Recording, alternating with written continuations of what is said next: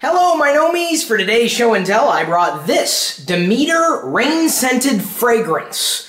And since it's raining today and I'm used to the rain, I love the rain, I live in Seattle, I figured I'd see what this rain smells like. And I'm hoping it doesn't smell like petrichor, which is not one of my favorite scents. Hmm. Fresh.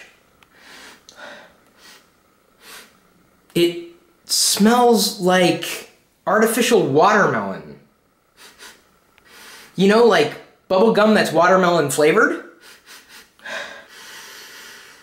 Airy. But not like rain. Then again, does rain really have a scent?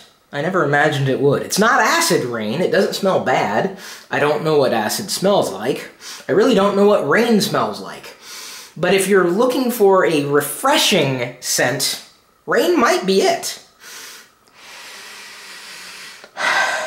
I could probably wear this again if Diana likes it, because if she doesn't like my scent, it doesn't matter which scent I like, you know, because that's how it works with things that smell.